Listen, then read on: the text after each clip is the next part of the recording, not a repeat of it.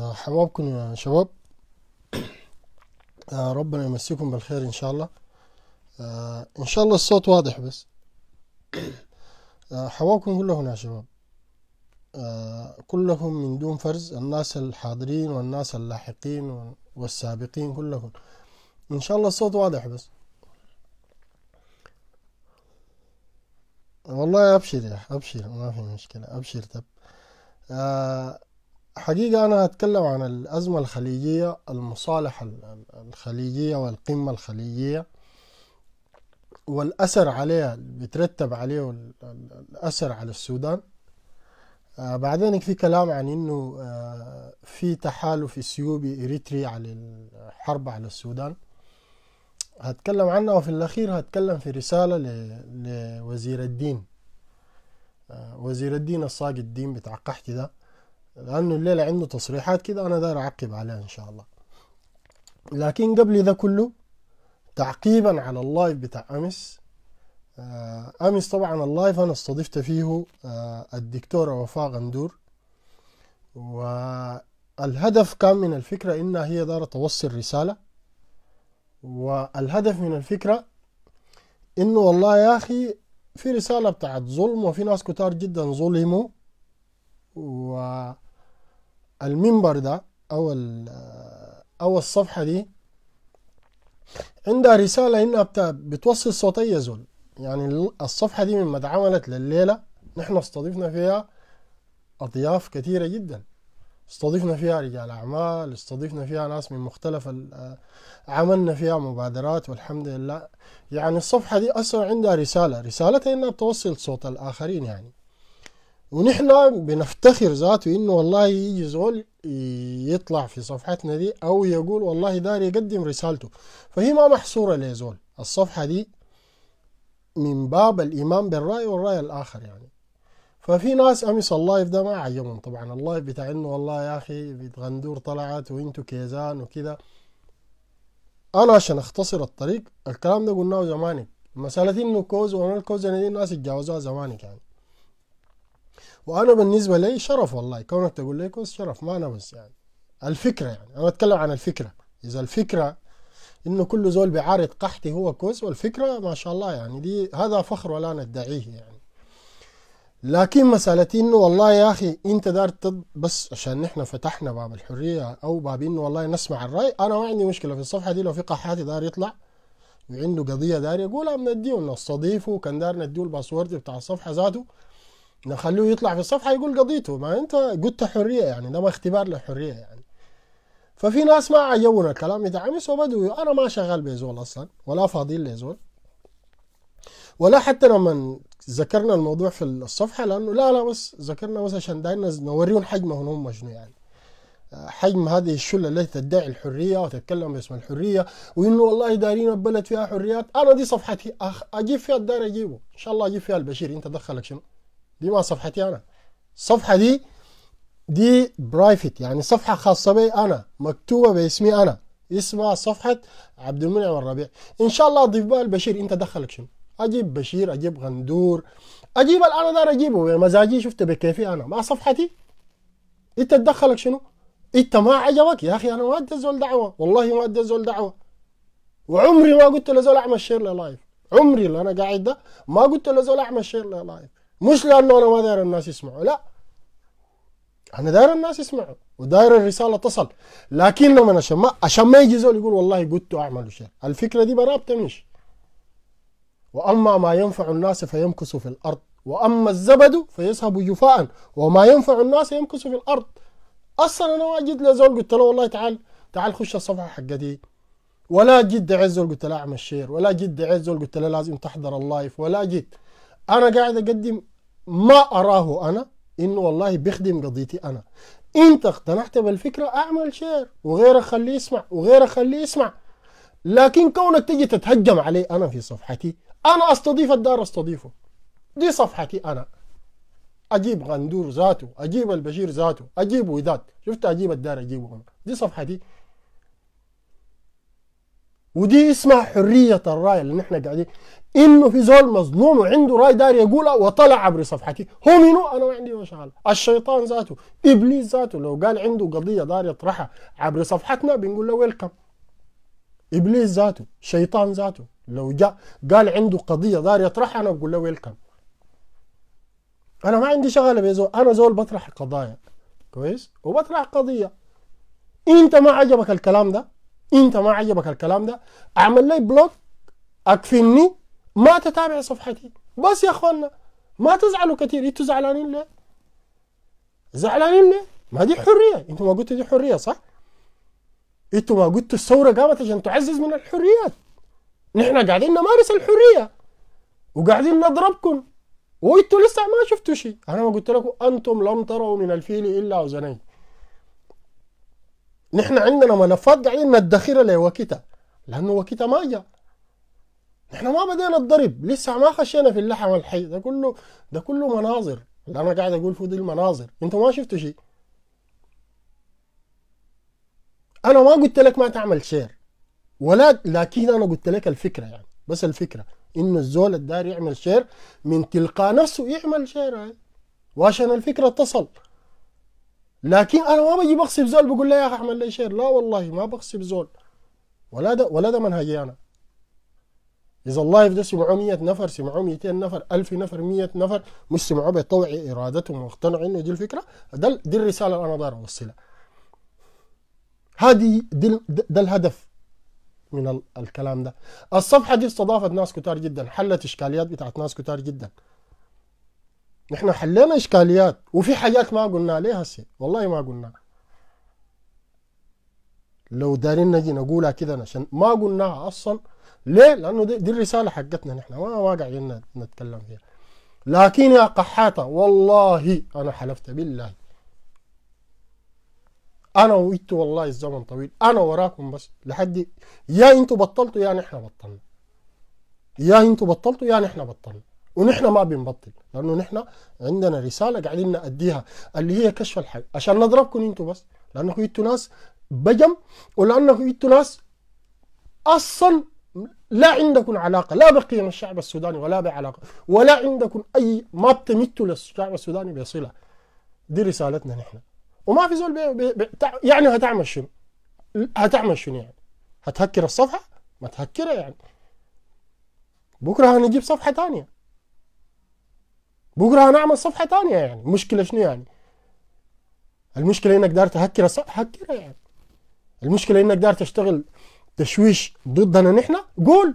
أنا اختصرت لك الطريق ده من أول يوم. قلت لك أنا كوس وبتشرف إني كوس خلاص يا الكوزنه الفكر دي ما أنت ما بتفهم. أنا ما افسرها لك.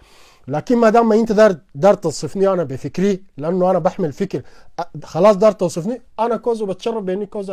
ما تسمع لي بس. ويختصر المفيد. عشان نختصر الطريق ونختصر والرسالة ستمضي. والصفحة دي ستكون مفتوحة لكل الناس. أي زول عنده قضية دار يطلعها عبر الصفحة دي صفحتنا دي مفتوحة تحت اي لحظة. أي زول داري يتظلم داري يشتكي عندك كلام دار تقوله فينا نحن ذاتنا الصفحة دي مفتوحة يعني. ستعبر عن آراء الجميع وستكون مفتوحة لكل الناس. دي الرسالة اللي حابين نوصلها للناس. فيما يلي المبادرة الخليجية أو الأزمة الخليجية لأنه عندها أثر علينا نحن في السودان. نحن دارنا نتكلم عنها بجوانبها بإفصاح كده. ليه؟ لأنه عندها أثر. لأنه في ناس بيسألوا بيقولوا والله المصالح الخليجية دي إذا تمت الآن تصالحت السعودية وقطر نحن نستفيد شنو؟ هي سبب الأزمة ذاتها شنو؟ سبب الأزمة الخليجية دي كلها قايمة كلها قايمة. قامت جوهرة جوهرة كده قايم. السبب الأساسي فيها قايم إنه هي ضد التحول اللي حصل في المنطقة. ضد التحول بتاع ثورات الربيع العربي اللي حصل في المنطقة. إنه في دول بتفتكر إنه آه قطر أو قناة الجزيرة تحديدا الإعلام الحر اللي هو الإعلام بتاع الجزيرة ده اطلق العنان للشعوب ونقل ثورات الربيع العربي في مصر في تونس في غيره وفي غيره البرامج ذاتها اللي بتطلق من قناة الجزيرة خلقت مستوى من الوعي اللي هي ساهم في صناعة ثورات الربيع العربي. أصلا دي لب القضية يعني. ده الجوهر الأساسي اللي قامت من أجله الأزمة الخليجية. الأزمة الخليجية قامت عن موقف قطر اللي بتفتكروا الدول الأخرى في في الخليج هو داعم لثورات الربيع العربي وداعم لحق الشعوب في التحرر. ولذلك الأزمة تطورت لكن الأزمة دي عشان تمشي لقدام كانت محتاجة لسند خارجي اللي هي جت ترامب انتخب في 20 2017 رئيس للولايات الأمريكية المتحدة. يوم 5 6 قطعت أو هذه الدول الأربعة اللي هي السعودية البحرين والإمارات بالإضافة لمصر اللي هي خارج منظومة آه، دول الخليج أو دول التعاون الخليجي. لكن مصر طبعا بعدين برضو نتكلم في ساعة إنها هي تولت الكبر. ديل في يوم 20 6 بعد أربع شهور من تولي ترامب للرئاسة قطعت علاقتها مع مع قطر وفرضت حصار على قطر. اتبنى الحصار على قطر على ثلاثة أشياء أساسية. واحد دعم الإخوان المسلمين أو دعم الإرهاب سموه هم الإرهاب. وطبعا دي الآن بيحاولوا يوصلوا لها داخل البلد جوا السودان إنه يتكلموا عن قضية الإرهاب. أنا بعدين لما أجي أتكلم في ال ال ال الكلام عن وزير الدين القاد الدين بشرحها إن شاء الله في النقطة دي. لكن قضيتهم عشان يبنوها ويجيروها وعشان يتم ضرب التحول الديمقراطي في المنطقة ضربوا الأخوان قالوا ده الارهابيين خلاص بدأ الإعلام يشتغل إنه ده الارهابيين وإنه الإخوان المسلمين بتاع تفجيرات وكده مع إنه دي ما غلوطيه ساكت يعني لأنه الإخوان ما اغتصبوا السلطة ولا جو بالدبابة ولا ساقوا الناس بالشوارع وقالوا والله نعمل وثيقة دستورية ولا كده. الإخوان ديل ساقوا ومشوا عملوا أخطاء جسيمة جدا أي ما فيها مشكلة. لكن جو بالصندوق بتاع الانتخابات يعني الشارع ده لأول مرة في مصر تصل نسبة التصويت 80% يعني. طلعوا وصوتوا وشاركوا لكن هم عشان يضربوا الثورات دي قالوا لا لا ده الإرهاب. زي ما حصل في سوريا زي ما حصل بعد ذاك في ليبيا. المهم مرروها إنه ده الإرهاب وغيره وغيره. فقامت الفكرة بتاعت إنه الجزيرة أو إنه قطر تدعم الإرهاب. دي واحدة واحدة من الأشياء. واحدة من القضايا الثانية اللي جابوها اللي هي قضية إيران. وليه خشت إيران؟ لأنه برضه ترامب لما استلم طوالي ألقى الاتفاق النووي بتاع إيران وأمريكا والاتحاد الأوروبي وكده جوهر الأزمة دي كلها وده الكلام الزمان نحن من جينا تكلمنا في قضية الانتخابات الأمريكية. لما نحن كنا بندعم إنه والله لازم يسقط ترامب ولازم يفوز بايدن أو يجوا الديمقراطيين لأنه كنا نفتكر إنه سقوط ترامب سيعجل بسقوط المشروع. خلاص سقطت. الآن المشروع سقط يا أخوانا الآن الهيمنة بتاعت أبو ظبي والهيمنة بتاعت الرياض ودي فيها دي فيها خير كبير جدا لنا نحن طبعا. إذا نحن في السودان استوعبنا هذه الرسالة وخرجنا من عباءة المحاور لأنه نحن الثورة حقتنا ضيعت المحاور. نحن الالتفاف بتاع الدولة حقتنا أو التفاف قحط أو شراء الإمارات لبعض الزمم وبعض الرؤوس هو ضيع الثورة السودانية. ولذلك لما جت ترامب وجات قضية الاتفاق النووي ولقوا الاتفاق النووي كده ترامب أدى القوة أدى الضوء الأخضر. هو اللي أدى الضوء الأخضر لدول الخليج.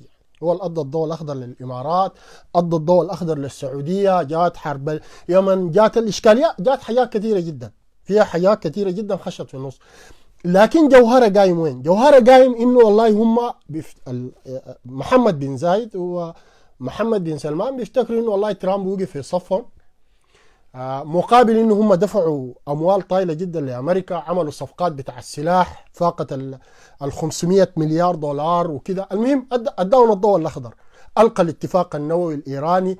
أصبح ترامب بذاته سياسته الخارجية في الشرق الأوسط وكده ما مهتم بها كثير. أصبح ما مهتم بال ال... ترك المنطقة كلها أو أمر المنطقة كله أو السياسة الأمريكية بالعموم في الشرق الأوسط أصبحت تتماهى مع ما تريده الرياض وما تريده أبو ظبي. أصبحت دي, دي السياسة العامة. فترامب أدى الجماعة دي الضوء الأخضر. افعلوا ما تشاءون. ولذلك نحن زمان لما جينا قلنا يسقط ترامب. لابد إنه يسحب ترامب.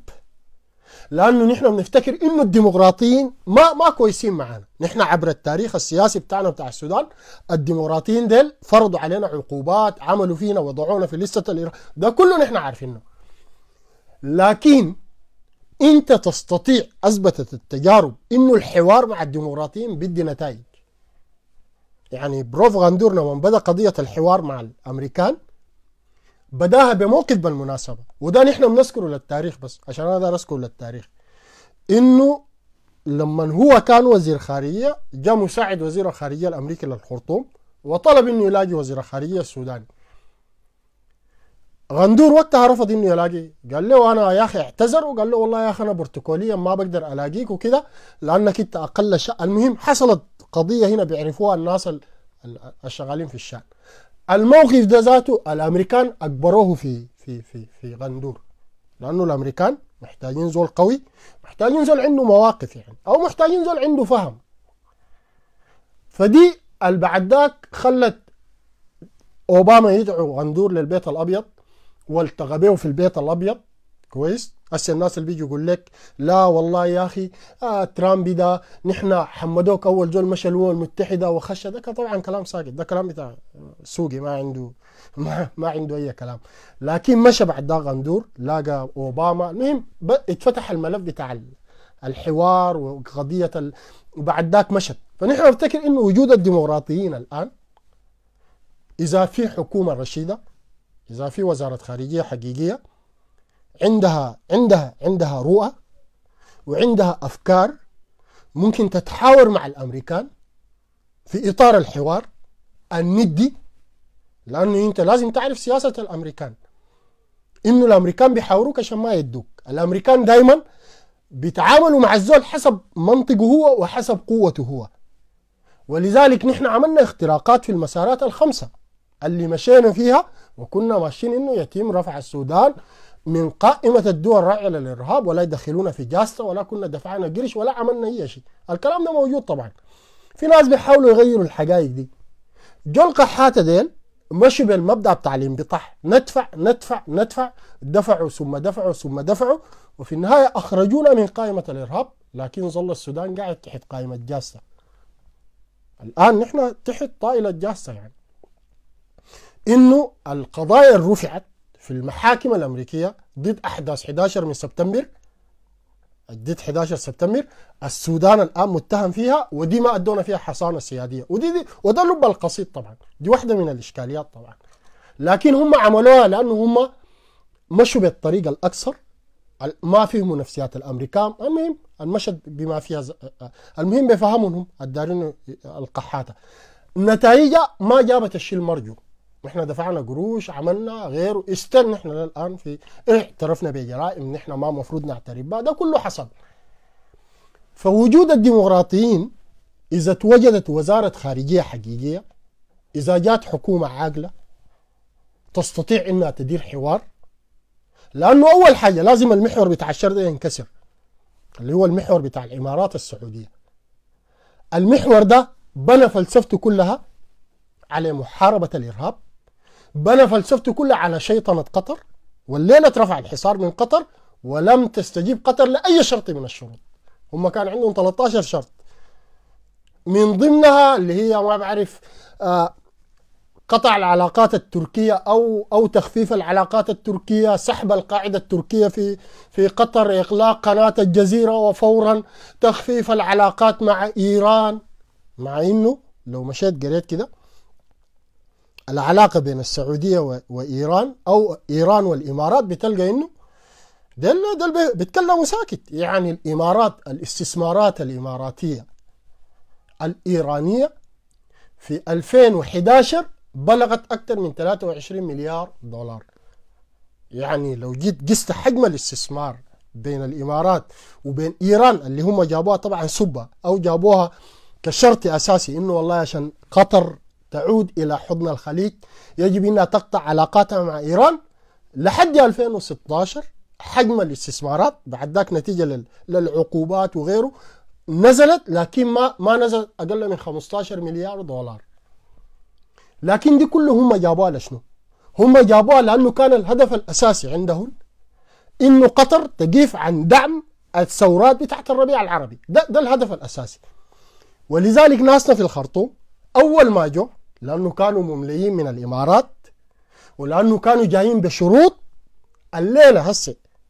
وزير الخارجية وزير المالية القطري وزير المالية القطري الليلة في مصر طبعا.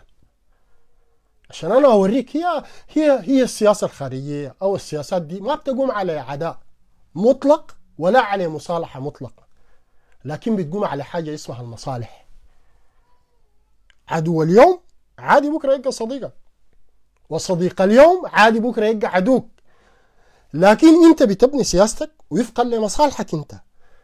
الليلة وزير المالية القطري أول ما تم توقيع الاتفاق في الدوحة أقصد في في مدينة العلا في في في المملكة العربية السعودية ركب طيارته وجا نزل في في في القاهرة والإعلام المصري أفتح شوف الإعلام المصري يقول شنو طبعا لأنه دي واحدة من أزماتنا نحن. هو ده إعلام بتاع حكومة إعلام مسيس. الإعلام المصري كان أمس يسب قطر وبتاع. هسه الآن بدأ يقول لك والله يا أخي الإخوان الأشقاء و... والإعلام بدأ يتحدث عن العناق الحار جدا بين محمد بن سلمان وأمير قطر. عناق العناق دي طبعا كلمة انت لما تقول لي فلان عانق فلان.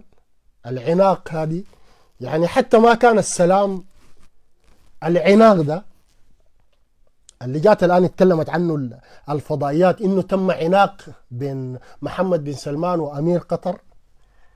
ووزير المالية القطري يطير من من من السعودية وطوالي ينزل في في في مصر ويمشي يفتتح فندق استثمار لقطر. ده بيوريك إنه الآن التغيير اللي حصل في البيت الأبيض. طبعا التغيير حصل ما الآن خلاص ترامب ماشي. يوم 20 2 ترامب هيسلم السلطة. هيجي بايدن السياسة الخارجية بتاعت بايدن تختلف عن سياسة ترامب وبايدن عنده قضيتين مع السعودية اللي هي قضية حقوق الإنسان ودي هيضغط فيها السعودية ضغط ثقيل جدا وقضية حقوق الإنسان هتمتد.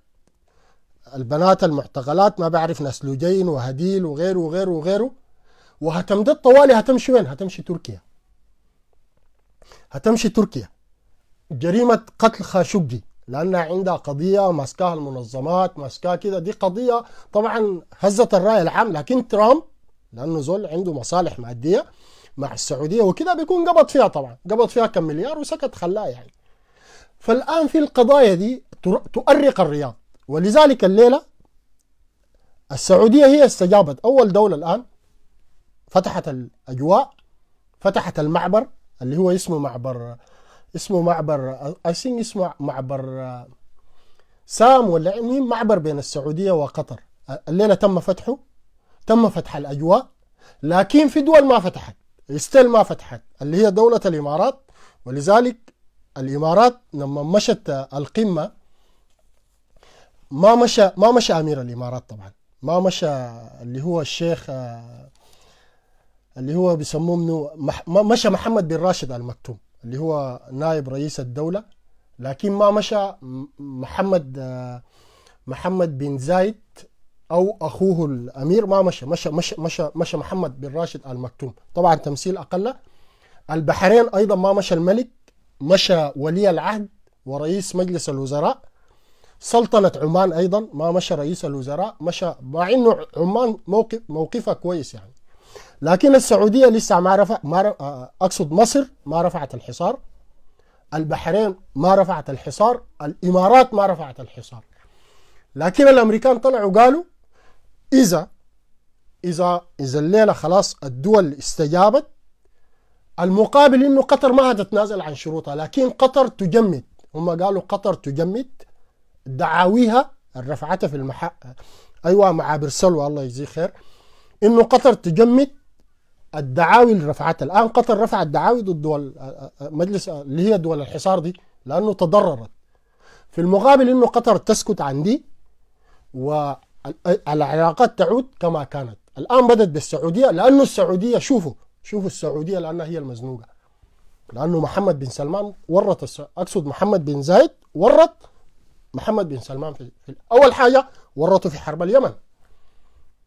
الآن حرب اليمن دي ترتقي لمستوى إنها تكون جرائم حرب. وبايدن يتكلم عنها إنه لما يجي يقعد حرب اليمن كانت بالنسبة لترامب حرب بتاعت استنزاف استنزف منها السعودية. هو لما يجي يقعد السعودية مضطرة ولذلك الآن السعودية تبحث عن مخرج للحرب في اليمن. لأنها لما دخلت الحرب في اليمن كانت تتوقع إنها ستحسم المعركة في ساعات. زي ما قال محمد بن سلمان سنخش وسنكتسح ونمسح. خش لا قدر يمسحها و... وللأسف بقاتل بجنودنا نحن. للأسف الآن الدرجة الآن قاعدة بين اليمن والسعودية اللي بيموتوا فيها هم أبناء الشعب السوداني وكذا. للأسف يعني أنا أقولها للأسف. عجز إنه يحسم حرب اليمن لصالحه. دي واحد. الاثنين فيها انتهاكات فظيعة جدا. الإمارات السعودية شغالة حرب في اليمن وهي استولت على الموانئ. ليه؟ لأنه محمد بن سلمان جابوا محمد بن زايد باعتباره تلميذه الوفي وأنا هدخلك كوشنار وهوديك لترامب وهتبقى الملك. ما في فرض ولا وطاعة. ما فرض ولا وطاعة. عشان هو يبقى ملك وعشان يتجاوز لأنه شالوا له محمد بن نايف وشالوا له منو رقاب كثيرة جدا سحبت عشان يجي محمد بن بن سلمان عشان يبقى هو ولي عهد المملكة العربية السعودية. الكلام ده كله بترتيب بينه هو وبين زايد والأمريكان دفعوا قروش طائلة جدا. الان السعودية للأسف تدخل في أزمة لا قادرة تحقق البرنامج بتاع مشروع. ما بعرف مشروع 2030 لا قادرين يحققوه. لا قادرين. الأزمة الاقتصادية الطاحنة قضية البترول خشت جات قضية كورونا عملت لهم إشكاليات كبيرة جدا. السعودية ما قادرة تحقق وتورطت في حرب في اليمن. الآن ستلاحقها المنظمات وكذا لأنه أنا زي ما قلت الديمقراطيين في قضية حقوق الإنسان أكثر أكثر جدية من الجمهوريين. بايدن كرئيس لأمريكا ما بينظر كما ينظر ترامب المصالح المادية وكذا. أي عندنا المصالح المادية لكن بيغلفوها شيئا ما. يعني ما زي ترامب. ترامب ده ما بيجيك زول عادي زوس بتاع سوق. تديني كده مليار أنا أعمل لك كده. ما تديني كده ما أديك. السعودية تورطت في حرب اليمن. الآن السعودية حسب ما هي تريد إنه أمريكا مفروض في فترة ترامب كان يعمل حربي على إيران. ده حسب المخطط اللي كان ماشي.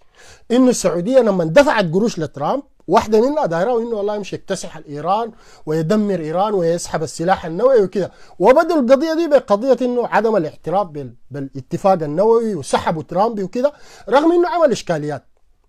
الآن أمريكا ما حاربت. ترامب أخذ مليارات مليارات مليارات وإيران لم تحارب. وبالعكس أنا قلت الكلام ده قبل كده. إيران من مصلحة أمريكا أن تظل إيران موجودة في المنطقة. كان ديمقراطيين كان جمهوريين كان غيره من مصلحتهم إيران تكون قاعدة لأنه إيران دي ستظل هي البوابة تحت الاستنزاف. زي ما كان صدام حسين بوابة بتاعت استنزاف زي ما جات داعش بوابة بتاعت استنزاف زي ما قبلها كانت القاعدة بوابة بتاعت استنزاف زي ما الإرهاب بوابة بتاعت استنزاف. وجود إيران في المنطقة لأنه أنت ما ممكن تجي تكلمني عن إيران تقول لي عدو وتطالب قطر إنها تقطع علاقاتها مع إيران وانت استثماراتك أكثر من 23 مليار دولار. الإمارات تستثمر أكثر من 23 مليار دولار في إيران. لكن جات الأزمة تحت الحصار على إيران وغيره اتخفضت ل 15 مليار دولار. فأنت ما ممكن أنت أكبر مستثمر عند الآن إيران تستثمر في في في أبو ظبي. عندها أربع جامعات في أبو ظبي. نسبة الإيرانيين الآن في أبو ظبي تجاوزت النصف مليون بين 400 و1000 ل 500 ألف. وتجي تطالبني تقول لي لا والله نحن نريد من أن تقطع علاقاتها وما غيره. السعودية الآن في إشكالية. السعودية الآن دايرة ترتب بيتها الداخلي. واحد عندها أزمة اقتصادية عالمية عندها أزمة بتاعت حقوق إنسان. وجود ترامب الآن في المشهد غياب ترامب في المشهد. ده استدعى إنه السعودية تمشي على عجل وتبدأ بالمصالحة لأنه قطر لم ما تضررت شيء. ما شوف أنا حدا نوريكم اتعلموا الدرس. اتعلموا الدرس. قطر الدولة الصغيرة جدا الدولة اللي هم لما أعلنوا الحصار عليها كانوا ماشيين يجتاحوها كان اجتياح طبعا لأنه دارين يستغلوا أموالها مواردها. هنبت عديل كده يعني.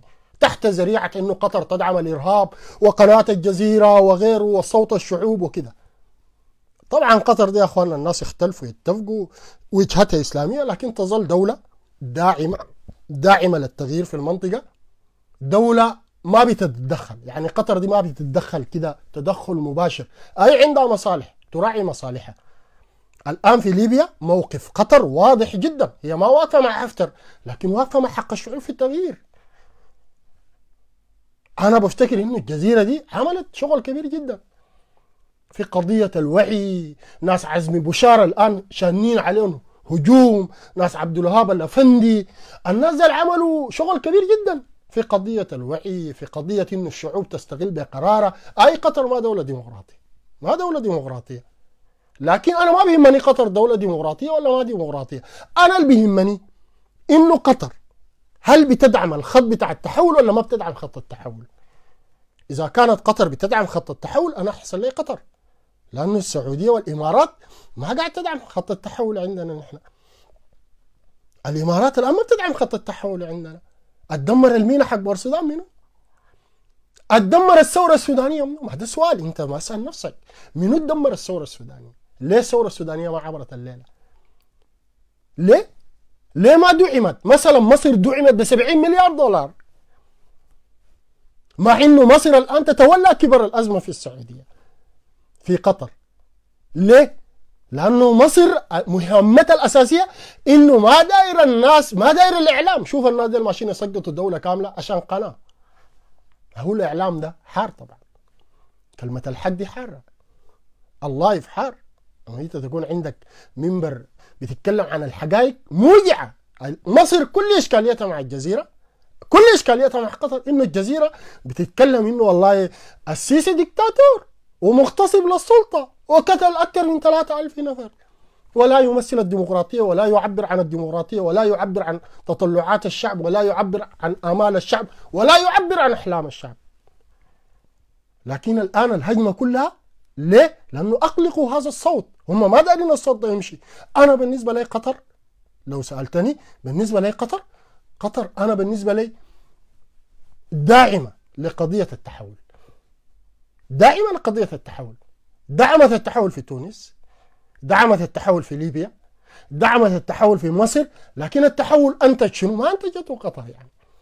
يعني الليلة التحول اللي جاب الإسلاميين في الدول دي ما جابته قطر بالقوة. دي إرادة الشعوب يا أخواننا. ولذلك نحن جينا قلنا إنه الديمقراطية دي ما بيسمحوا لها. الديمقراطية لن يسمح لها. منطقة الشرق الأوسط دي لن يسمح فيها بالتحول الديمقراطي ولن يسمح فيها بالديمقراطية لأن الديمقراطية بتجيب الإسلاميين. لأنه ديل هم صوت الوعي. هم الصوت الوعي. هم الناس اللي بيملكوا مشروع. ما الليلة الناخب في مصر لما مشى صوت للإخوان خليك من مرسي لأنه حصل خلاف حوله حتى البرلمان حتى البرلمان جابوا إخوان وسلفيين ليه؟ لأنه لأنه ده دي دي لأنه دي الأمة دي كده يعني. يعني خلاص الأمة دي المنطقة بتاع الشرق الأوسط دي جذورها واصولها وقت ما أتيحت لها الديمقراطية وقت ما أتيح للشعوب إنها تمشي لصناديق الانتخابات ما بتقبل زول إلا زول يحافظ على هويتها زول يحافظ على قيمها زول يحافظ يقدم مشروع يحقق طموحاتها حصل في مصر حصل في تونس حصل في المغرب حصل في الأردن حصل في ليبيا. دي كلها جابت منو؟ جابت إسلاميين. لكن هم ضدها. الآن بدي يقول لك والله الإسلاميين إرهابيين. خلنا الإسلاميين إرهابيين. وكذا انت تعالوا قول لي الإسلاميين دول إرهابيين كيف يعني؟ يعني الإسلاميين ده هسه قاعدين يشيلوا سلاحهم يفجروا ما سؤال قاعدين يفجروا. يعني هسه الارهابيين الإرهاب المورس ضد الإخوان المسلمين في مصر. ما الليلة. مين عبد الناصر؟ وتعال ماري بالسادات وتعال ماري بحسني مبارك وتعال ماري بهذول كلهم. ياتوا إرهاب. لكن الآن لأنه هم ما دارين تطلعات الشعوب. الآن في السودان ما بيتكلم عن ديمقراطية ما بيتكلم عن انتخابات. تغيير المناهج تغيير أي حاجة. لا ما في انتخابات. ليه؟ لأنه الشعب ما واعي. لما تيجي تقول له الديمقراطية بيقول لك لا والله الشعب الشعبي ما واعي. الشعب في مصر ما واعي ليه الشعب في مصر ما واعي ما انتخب الليبراليين ما انتخب اليساريين. الشعب في مصر ما واعي لأنه جاب الإسلاميين. ما دي الديمقراطية يا أخوانا. أخوانا ما دي الديمقراطية. انت الديمقراطية مش إرادة الشعوب؟ الديمقراطية مش إن الشعوب يمشوا صندوق الانتخابات ويخطوا صوتهم؟ اسيا بكرة تقوم انتخابات في السودان. سنه صح عليك. والله كسح. بكرة تقوم انتخابات حرة في السودان دي لن يفوز فيها إلا التيار الإسلامي. بكل مكوناته. سلفيين أنصار سنة إخوان مسلمين حركة إسلامية. ديل هم اللي هيفوزوا. لكن أصلا لا هيفوز بحثي ولا هيفوز ناصري ولا هيفوز شيوعي ولا هيفوز جمهوري. ديل ما في زول فيهم بيفوز. لأنه ديل ما عندهم مشروع. ديل لو جيت سألته قلت له يا أخي نحن بكرة دايرين نمشي انتخابات. كده أدينا مشروعك شنو؟ يا أخي أدينا مشروعك شنو؟ ادينا رؤيتك الاقتصادية شنو؟ هسه تعجب شوي. قول له رؤيتكم الاقتصاديه شنو؟ ما عنده رؤية اقتصادية. كده ادونا قول له رؤيتكم الاجتماعية شنو؟ الرؤية الاجتماعية لتطوير المجتمع ذاته اجتماعيا وثقافيا. شنو؟ ما عنده الرؤية. ما عنده الرؤية. أنا ما بتكلم ساكت. أنتوا عملوا انتخابات بس. احلامي نحن فاسدين. ده ما ده ما كلام. ده ما بقيمه أنا. ده ما بقيمه أنا. انت هسه جاري من انت هسه خايف من الانتخابات مالك؟ ما سؤال. انت هسه بتقعد تقلب؟ الإسلاميين والإسلاميين ديل والله فاسدين والإسلاميين ديل والله والإسلاميين. امشوا انتخابات؟ امشوا انتخابات عشان اوريكم البل أحرسوا صناديق الانتخابات براكم. وشكلوا لجنة الانتخابات براكم. وأعملوا مفوضية للانتخابات براكم. وتعالوا شوفوا البل. عشان اوريكم البل كيف.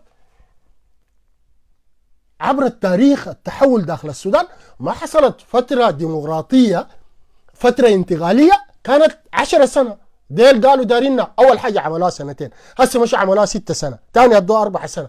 ثاني بكرة هيجي يقول لك لا الفترة الانتقالية دي دارينا عشر سنة. وهم لو سألتهم دارينا forever forever يقعدوا يغيروا المناهج يغيروا الدستور. أول ما تيجي تقول لنا يقول لك لا أنتوا تجار دين نحن وش تجار دين نحن ما تجار دين اراح الشارع. اراح الصندوق؟ اراح الصندوق؟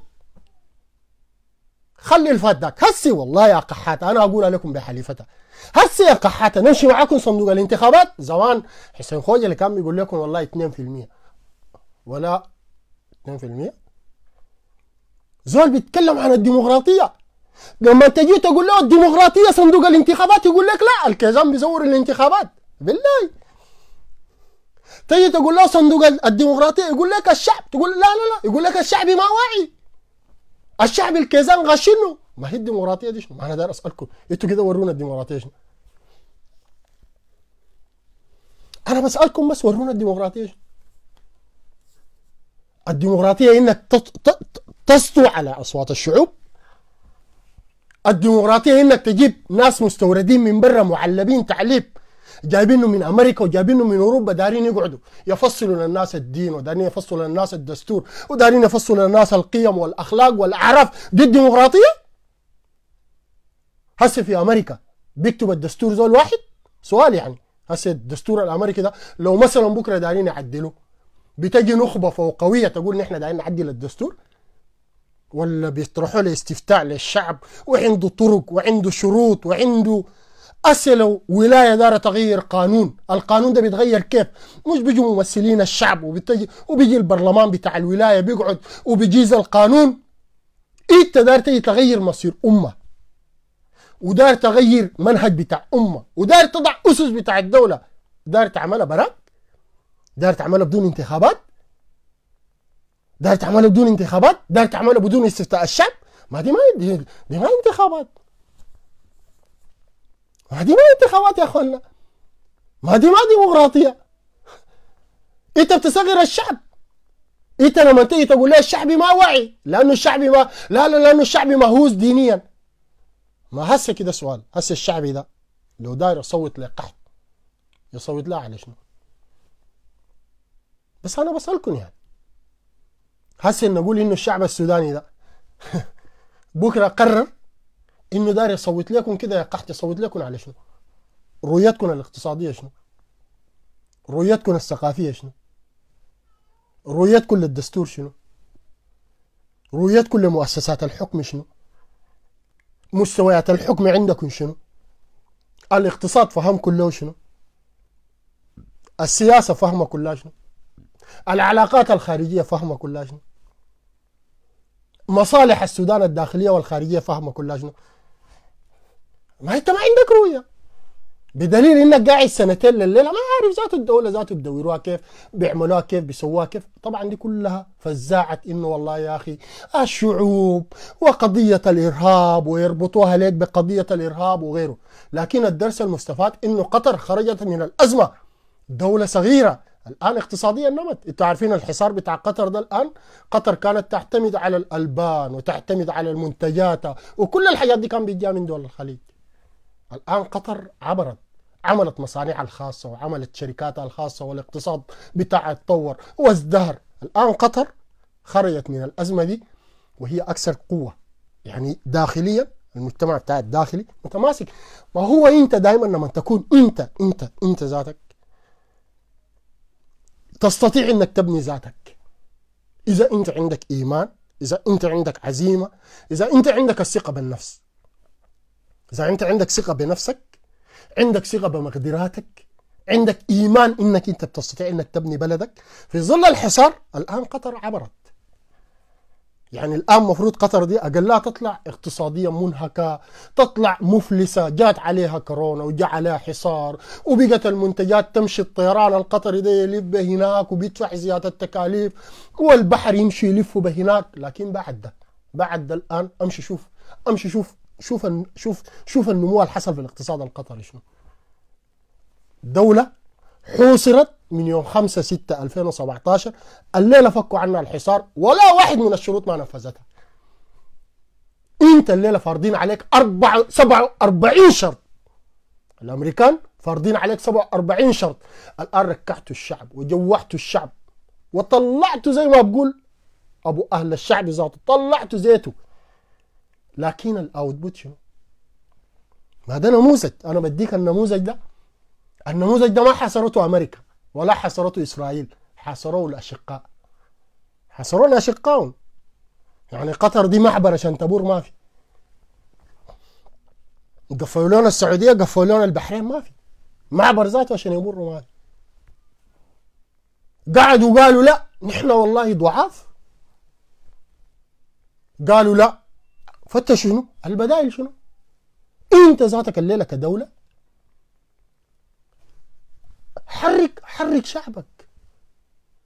حرك إنتاجك. انت تملك من الأرض ومن المساحات ومن الشعب ومن العزيمة ومن الإيمان ومن القوة ما إنك تستطيع إنك تفعل فانك أي حاجة. تزرع برسيم ساكت. تزرع برسيم وتصدر برسيم تجيب دولار. اقتصاد السودان تبنيه برسيم بس. برسيم بس. محتاج منك لاي حاجة ما ذاك النيل جاري جنبك. لكن لأنه أنت ما عندك عزيمة. الآن قطر خرجت من الأزمة الخليجية ولأنه شاءت أقدار الله سبحانه وتعالى إنه يجي حاكم جديد للبيض الأبيض تغيرت السياسات. خلاصة الكلام عشان أمشي للنقطة الأخيرة إنه التغيير اللي حصل في أمريكا ده تغيير إيجابي. نحن بدينا مساحه الآن. الآن السعودية مشغولة بنفسها. الآن الإمارات مشغولة بنفسها عندها أزمة مالية. الأزمة المالية دي الآن ضربت الإمارات. كل التقارير بتقول إنه الإمارات محتاجة لانها ذاتها الآن تهتم تكتفي في في داخلها. نحن محتاجين إنه التغيير اللي حصل الآن في البيت الأبيض السياسة بتاعت الديمقراطيين حول المنطقة انكفاء الإمارات على ذاتها والسعودية على ذاتها. نحن محتاجين إنه نخرج بس أنا داير ألخصها إنه نخرج من عباءة المحاور دي. ما نفعتنا بشيء هسه نفعتكم بشيء الإمارات قدمت لنا شنو؟ السعودية قدمت لنا شنو؟ نحن ما قلنا لك امشي لقطر ولا قلنا لك امشي لتركيا. لكن دائما شوف الحليف الصح. ما انت اللي لما تيجي تعمل حليف هسه قطر دي اللي وقف معاه في الأزمة منه. ما تركيا. القاعدة التركية اللي جات اللي اتخذ فيها البرلمان التركي قرار وعاجل جدا رسل خمسة ألف جندي تركي. الآن قاعدين بأنه في أكبر قاعدة أمريكية اللي هي قاعدة العديدة كانت قاعدة في قطر. لكن لأنه الأمريكان كانوا ترامبي لأنه كان متآمر مع السعوديين. هم طوالي جابوا الأتراك نزلوا القاعدة التركية طوالي. اتحالفوا التحالفات الصح أنا بقول لك أنت لما تيجي تتحالف اتحالف التحالف صح اتحالف مع زول بيحميك. اللي لو مشيت اتحالفت مع الإمارات. ومشيت اتحالفت مع دولة هي قرارها ما في يدها. الآن خلاص ما المشروع مشى. هسه ينهار. الإمارات ما عندها قروش والسعودية ما عندها قروش. أنت هتعمل شنو؟ الآن هم جارين حكومتكم دي الآن جارية لقطر. ما أنت هسه الآن هتجري قطر وبكرة هتجري تركيا. ليه؟ من البداية من البداية. من البداية أنت اللي بيخليك اللي بيخليك تقف موقف ضد تركيا وقطر شنو؟ انت مصلحتك وين؟ زي صد النهضة. قلنا مصلحتنا وين؟ نحن وين مصلحتنا في صد النهضة؟ نحن مصلحتنا في صد النهضة. نقيف مع اثيوبيا ولا نقيف مع مصر؟ ولا نقيف مع مصالحنا نحن؟ ما في النهاية نحن لا قدرنا نقيف موقف يشرفنا في صد النهضة. اتبعنا مصر. كويس؟ مشينا مع مصر. في النهاية نحن غرقنا. الفيضان الفات غرقنا. والليلة هسه الآن ما قادرين نطلع بموقف موحد. لحد ما جات الحرب الاثيوبيه الأريترية. طبعا في كلام إنه والله السياسة فورجي طلع وقال إنه هيدعم اثيوبيا الكلام ده نحن تغصينا عنه لقيناه ما صح. حتى الآن حتى الآن الكلام ده ما صح. إنه أس... إنه أفورقي يدعم يدعم. يدعم اثيوبيا أو قال كل مقدرات الجيش الأريتري الكلام ده ما صح. لأنه لو حسبتها أريتريا ما عندها مصلحة. ما عندها مصلحة إنها تقف مع اثيوبيا ضد السودان. بالعكس حركات التحرر الاريتري وتحرير اريتريا وكذا الدعم كله كان من السودان يعني. الفضل في قامه دولة أريتريا يرجع للسودان. حتى العلاقات المتميزة حتى إذا حصل فوضى في الشرق وكذا ده بيعمل اضطرابات داخل أريتريا. لأنه برضه السياسة فرق عنده إشكاليات لأنه في قبائل عندها امتدادات في أريتريا وعندها امتدادات هنا في داخل السودان. زعزعت الواقع ده وكذا لكن للآن ما في كلام مثبت. حسب ما حسب ما فتشنا وسألنا قالوا ما في. ده ده ده جزء من الحرب. هي الحرب النفسية ضد الجيش السوداني. طبعا بيشتغلوا حرب نفسية. إنه يقول لك والله إريتريا وإثيوبيا كلهم واقفين مع بعض وسيدعموا الجي وكذا. طبعا دي جزء من الحرب جزء من الحرب النفسية. وجزء برضه من إنه والله ممكن تكون مصر لعبت فيها دور عشان تأجل الصراع وكذا. أنا داير أقول عشان أختم الحتة دي نحن محتاجين نشوف مصالحنا وين. نحن محتاجين نبني دولة بتاعت مصالح. ما دايرين عداء مع زول. لا دايرين عداء مع أمريكا ولا دايرين عداء مع روسيا ولا دايرين شعارات. أمريكا روسيا دنا عذابه دي كلها شعارات تضرد بالخارجيه السودانية. ما الحقيقة الزول بيقولها. أنا محتاج أشوف مصالحي وين؟ محتاج إنه أبني المصالح حقتي. المصالح دي أنا ببنيها ذاتها على ثوابت. طبعا عندها الثوابت الوطنية والثوابت القيمية والأخلاقية وكذا يعني. لكن أنا ما محتاج أخش لا في صراعات مع مع مصر ولا مع قطر ولا. الآن يتصالحوا هسه بكرة السعوديين بالصالح والخليجيين بالصالح. بعد شوية بيرجعوا الخليجيين بيقول لك المصريين دي سووا الفتنة. لأنه ما في مجلس التعاون الخليجي أصلا. هي مصر تطمح إنها تخش مجلس التعاون الخليجي لأنه مصر دايرة قروش. مصر ما شحادة.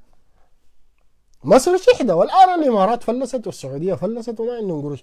فدي القضية أسأل الله سبحانه وتعالى إنه نحن بنستفيد إنه الآن الضغط البرة بتاع المحاور ده ممكن يقف ممكن نوقفه الآن بإرادة وطنية تجي حكومة وطنية تجي قوة سياسية مدركة للواقع ده.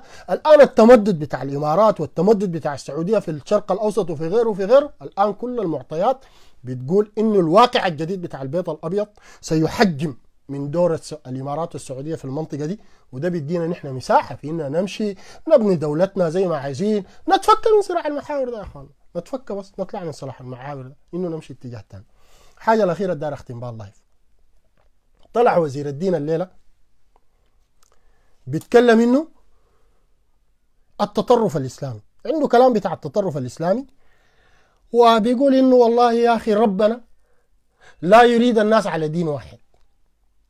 طلع كده يعني.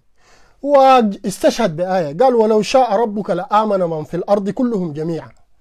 أفأنت تكره الناس حتى يكونوا مؤمنين؟ استشهد بالآية دي وزير الدين الليلة ودار يقول إنه والله نحن الليلة في الثورة دارين نجيب خطاب جديد وإنه والله يا أخي ربنا ده ما خلق الناس مختلفين. الكلام ده كله أنا معاك فيه لكن نحن دارين نسأل سؤال. نسأل سؤال لوزير الدين. هو السودان ده الآن فيه إشكاليات يعني لما قامت الثورة دي أو أو الإنقاذ لحد ما سقطت يعني هل كان في اشكاليات؟ هل الصراع الموجود في السودان ده صراع ديني؟ يعني هل هو صراع بين مسيحيين ومسلمين وإنه والله جو المسلمين تغولوا على حق الناس وقالوا والله المسيحيين دول ما يدون حقهم وانت جيت قلت والله داير تبني لك 13 كنيسة وداير تعمل حرية الأديان وداير تعمل الدين ده كله هل السودان ما كان فيه حرية الأديان؟ أنا بس بسال يعني هل السودان كان ال... يعني هل كان السودان لما سقطت الثورة دي وانتوا جيتوا هل كان السودان ما فيه كنائس؟ يعني ما كان في المجلس ال... مجلس السودان مجلس الكنائس السوداني ما كان موجود؟ الكنائس ما كانت مفتوحة؟ يعني المسيحيين ما كان عندهم حقهم في الدولة؟ يعني ما كان بيتوظفوا مثلا؟ كانوا ممنوعين من التوظيف مثلا؟ كان في زول شايل السيف في الخرطوم دي واقف بيقول للناس ما في زول إلا يخش الدين الإسلامي؟ الخطاب ده طبعا يا إخواننا الخطاب ده ما صح. الخطاب ده هو داري وسي داري داري يرسل به رسالة برا. هو داري هو داري يقول كده لأنه الان بيتكلموا حسب ما علمت أنا إنه والله قالوا وزير الدين ووزير العدل ديل ما يشيلون. ديل أكثر وزيرين قالوا أصلا التغيير ده لو حصل ما يشيلون. ليه؟ لأنه ديل أكثر ناس شغالين. هو وزير الدين داير يدي الناس إيحاءات إنه الدين ده فرضوه على الناس بالقوة وإنه والله الناس في السودان قاعدين يفرضوا. الكلام ده ما صح يا أخوان ما صح. وربنا صح ربنا ده ما كره ولو شاء الله لجعل الناس أمة واحدة.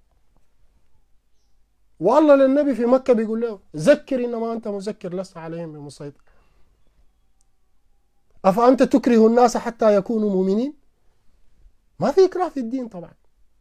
الكلام ده الكلام ده التسويق له الآن. التسويق له الآن. هم طبعا دارين يقدموا نفسهم للمجتمع البرة. دارين يوروا الناس إنه السودان ده كان دولة إرهابية وإنه أصحاب الأديان الثانية كان حقهم مضطهد وإنه ما في زول بيمارس حقه. والكلام ده ما صح طبعا. الكلام ده ما صح. أنت دار تسوق نفسك ودار تقدم رايك. ما في مشكلة. انت الان عملت خطة بتاعت 13 كنيسة. عشان اوريك وزير الدين ده عمل خطة بتاعت 13 كنيسة. باب بتاع مأكلة طبعا. هم ال 13 كنيسة دي هيشيلوها هيودوها مجلس الكنائس العالمي هيودوها للغربيين إنه والله نحن دايرين نبني كنائس. ما دي بتجي وراء دعومات طبعا. ما هو ده الهدف كله. الهدف كله تسويق الخطاب ده الخطاب بتاع الدين واستعطاف الغرب وإنه والله أكثر بلد أنا أقول لك أكثر بلد أكثر بلد الآن في الشرق الأوسط ده تحترم فيه حقوق الأديان وحريات الأديان هو السودان. ده. وأمشي خش السلك الوظيفي بتاع السودان ده شوف شوف المسيحيين المتقلدين المواقع في الدولة السودانية. أمشي براك كده شوف. الدولة السودانية دي في زول رفضوه في يوم من الأيام لو وظيفته لأنه هو مثلا مسيحي ما في. انت الان عملت خطة دار تجيب قروش من الغربيين دار تمشي الكنائس مجلس الكنائس العالمي ودار تمشي الفاتيكان ودار تمشي أورو... دي طبعا خطة بتاعت قحاته دارين ياكلوا بها قروش. لأنه ال 13 كنيسة لما تجي تشوف الخرطة حقتها والدارين يبنوها وين؟ في حتات أصلا ما فيها مسيحيين. أصلا ما فيها مسيحيين ذاته لكن لأنه ماكله باب بتاع ماكله هم ماشيين يقدموا به مشروع. ما خلاص الغربيين قال بتجي تستعطفهم بالدين. والله الإسلاميين كانوا مستعطف مضطهدين الناس بالدين والكلام ده. طبعا بيمشوا يجيبوا بقى قروش. الهدف الأساسي مش بناء الكنائس. الهدف الأساسي إنه ده باب بتاع ماكله هم دارين يأكلوا به ودارين يروجوا به نحن الكلام اللي أنت هسه قاعد تقول فيه ده ما في له داعي. أول حاجة في السودان ده هاي عندنا عنصرية. ده غرابي ده شرقي ما بعرف ده جنوبي. في في في في أشياء متجذرة كده بقت زي الثقافة حقت الناس. ده يقول له والله ده أصيل وده عب وده لكن ما في مشكلة بتاع الدين ما في زول قاعد يضطهدوا في دينه. حتى دي حتى دي آية فيها إشكاليات. لكن هي الإشكاليات مش إشكاليات دينية. إنه والله ده مسيحي ولا ده مسلم ولا لا القضية ما كده. قضية إنك أنت دار تقول للناس والله ربنا ما خلى الناس والناس كله ده ما حق أصيل يعني. هو ده حق اصيل يعني. هو ربنا ذاته لما خلق الناس قال من شاء فليؤمن ومن شاء فليكفر يعني. هاي في في ناس مشددين لكن لو جينا ده نتكلم عن التشدد ده أنت أبقى صادق اتكلم عنه. وين التشدد؟ منو الناس اللي بيكفروا الناس؟ أنت ما تبقى زول منطقي بنفس فهمك أطلع قول والله إنه في جماعات كانت ترعاها السعودية زي الجماعات السلفية دي. أنت ما تبقى زول منطقي. ديل هاي صح في ناس يوم يكفروا وفي ناس يوم مشوا للتكفير وفي ناس مشوا للغلو والتشدد لكن ده ما أصل الدولة السودانية. إذا أنت داير تكلمنا إنه والله محمود محمد طه قتلوه قبل كده لأنه والله في حدود بتاعت حدود الردع دي دي دي حدود موجودة في الإسلام يا أخوان. أي نتفق نختلف معاه. أنا واحد من الناس التأب. ما مع أصل قتل المرتد ما معه. إلا زول زي القراي ده لأنه حارب زي ما قالوا الصحابة للرسول صلى الله عليه وسلم الرجل نجده هنا مسلم ويكفر ونجده في صف العدو. قال إذا وجدتموه فاقتلوه. وفهم الحديث المرتد عن ديني المفارق للجماعة. أنا في دي زي القراي ده يجوز إنه يقام فيه الحد. لأنه ما ما فارق الدين ومشى قعد في بيته. ولا فارق الدين ومشى كون له جمعية وقعد يدعو ضد الله. لا مشى استخدم صلاحيات الدولة وشغال تحريض على المسلمين وشغال إشانة سمعة للإسلام ده يجوز قتله. ده ده فقها ودينا يجوز قتله. مع إنه أنا زي ما قلت قضية المرتد وغيره وغيره دي أشياء. لكن الصراع الآن قاعد يقول فيه وزير الدين ده ده صراع بيجر البلد. أنت أنت ما ممكن تسوق البلد بواقع ما موجود فيها. شوف لك تجارة ثانية دارين تجيبوا قروش بطريقة ثانية جيبوا قروش بطريقة ثانية نحن السودان ده عايشين مسلمين مسيحيين. حرب الجنوب دي حرب فرضت علينا. امشي اقرأ تاريخها امشي اقرأ تاريخ حرب الجنوب. امشي اقرأ التاريخ حرب فرضت علينا فرضت علينا فرض. امشي اقرأ تاريخ الجنوب قبل خروج المستعمر. واقع الجنوب والفرض والحرب اللي فرضت علينا في الجنوب دي ده حرب فرضت علينا. وبواقع فرض علينا زي ما الان بيفرض علينا في جنوب كردفان. إنه العلمانية مقابل الدولة يا إما دولة واحدة تحت سيادة العلمانية وشعار العلمانية عشان يجوا أقلية أقلية أقلية دينية أقلية دينية عشان تجي تحكمنا نحن وفقا للعلمانية. ده ما عنده علاقة بالدين. دي دي قضايا سياسية. الآن اللي بيحصل في جنوب كردفان الحلو بيتكلم عن قضية العلمانية. دي كلها قضايا سياسية. وراها جهات غربية. الهدف الأساسي منها هدف سياسي. ما هدف ديني. نحن ديننا ده لا بيكره زول ولا بيجيب زول. زي ما القراي هسه بيجي بيقول لك مثلا يعني إنه والله يا أخي القرآن المكي والقرآن المدني وما بعرف أنا والله ما ما بعرف. يعني الله لما قال لا إكراه في الدين قد تبين الرشد من القي. دي في صورة دي في صورة دي في سورة مدنية في سورة البقرة يعني. امشي اقراها في سورة البقرة. الآية 256 دي مدنية دي طبعا من الآيات المك... المدنية الما بدورها القراي لكن دي آية مدنية برضو. الله قال لا إكراه في الدين. قد تبين الرشد من الغي. ف... فالقضية ما قضية إنك أنت تتاجر وتتاجر باسم الدين والصراعات دي دي يا أخوانا دي صراعات سياسية. نحن دايما نبني بلد متعدد بثقافاته بغيره بغيره زي ما طلع وزير التربية والتعليم الليلة. قال دار يدخل الثقافة الجنسية في التعليم. طبعا في ناس زعلوا من قضية الثقافة الجنسية دي. هاي تدخلها لكن ما الثقافة بتاعت الشيوعيين؟ الثقافة بتاعت الشيوعيين؟ نحن ذاتنا في الإسلام عندنا ثقافة جنسية. من قال لك ما عندنا ثقافة جنسية. الإسلام ذاته ورانا ذاته الدين شنو؟ ورانا الجماع ورانا الأحاديث. دي كلنا عندنا. لكن لو نتكلم عنها هم نتكلم عنها بمفهوم وزير التربية. إحنا دارين هنا من نتكلم نقول والله يا أخي الثقافة الجنسية ما عيب. لكن ما بيفهم الشيوعيين ولا بيفهم وزير التربية حقك ده بيفهمنا نحن بتاع الدين. بفهمنا اللي بيحصلنا بفهمنا إن نعلم أبنائنا إنه ما يتحرشوا عليهم. بالفهم انك تعلم الناس ذاته الحلال والحرام. بفهم انك تحافظ على الناس. دي ما دي, دي حاجة كويسة لكن ما بيفهم الشيوعيين. الشيوعيين بيفهم إنه والله الثقافة الجنسية بكرة امشي أجيب الأولاد علمهم يمارسوا الجنس كيف. لا لا ما كده. ما كده. ما كده. لما يطلع وزير التربية لأنه ده فهمه. هو فهمه كده. فهموا إنه والله داري يقول للغربيين إنه في اضطهاد وحق المرأة وما بيعلمونا الجنس وبعد شوية هيجي يقول لك لا والله دخلوا المادة الجنسية علموا الأطفال الجنس وعلى ده ده ده, ده, ده علاقته بثقافتنا نحن شنو؟ ما عنده علاقة. نحن ما دين متزمت طبعا. هم دارين يسوقوا انه الإسلام ده دين متزمت. الإسلام ده دين متسامح جدا بالمناسبة.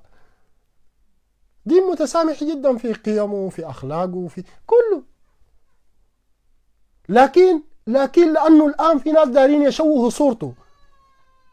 دارين يشوهوا صورته عشان ينفروا الناس منه ودارين يشوهوا صورته عشان في المجتمع الخارجي. حقه الناس يفكروا الحاجات دي. حقه الناس يفكروا الحاجات دي. الإصلاح والقضايا دي كلها بيعملها المجتمع عبر مؤسسات منتخبة عبر مؤسسات عندها تفويض شرعي بتمثل الشعب جاية من الشعب صوتها يرجع للشعب ما بتعمله إنت. ما بتجي إنت زول منبطل أصلي والصلة بتكلمنا عن الثقافة الجنسية. الثقافة الجنسية ما بيفهم الشيوعيين إنه والله تعالوا وروا الأولاد بما لا لا ما كده. نحن في الدين عندنا لا.